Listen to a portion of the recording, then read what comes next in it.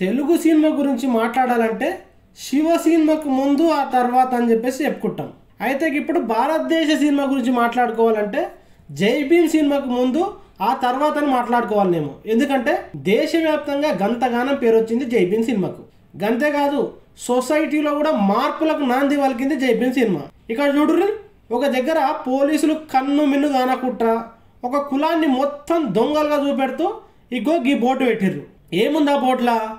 గోకవరం తెలగా పాముల కులస్తులు ఫోన్ల ద్వారా మాట్లాడి మభ్యపెట్టి బంగారం తక్కువ ధరకు అమ్ముతామని మాయమాటలు చెప్తున్నారు. దయచేసి ప్రజలంతా ఇటువంటి మోసపూరిత మాటలు నమ్మొద్దు. వారి చేతిలో మోసపోవద్దు. మోసగాళ్ళు ఉన్నారు జాగ్రత్త. ఇట్లు SI sub inspector of police Gokavaram అని చెప్పేసి ఫోన్ నెంబర్ ఇట్లా రాసిపెట్టిరుగా ఎంత బల్పు చూడురి ఏం రాస్తున్నామో సోయి లేకుండా గింత అడ్డగోలిగా గింత బహిరంగంగా ఒక జాతిని మొత్తం దొంగలంటందుకు వెనక ముందు ఇట్లా ఆలోచించకపోవడం చూసిరా ఓ గిదే బోర్డు. జై భీమ్ సినిమా దెబ్బకు మార్చి రాసిర్రు. ఆడ తెలగా పాముల కులస్తులు అన్నకాడ డ్రైవర్స్ కాలనీలో కొంతమంది అని చెప్పేసి మార్చిర్రు.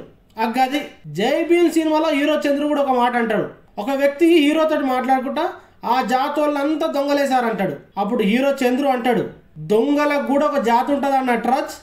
నీ నా జాతుల్లో కూడా అంతకంటే పెద్ద దొంగలు ఉంటారని చెప్పేసి చెప్తాడు. గా జైపింగ్ సినిమా గీడ బోర్డును మార్చింది ఆలోచనలు మార్చింది భారతదేశంలో ఎసొంటి సినిమాలు రావాలన్నా కూడా ఒక రూట్ వేసింది.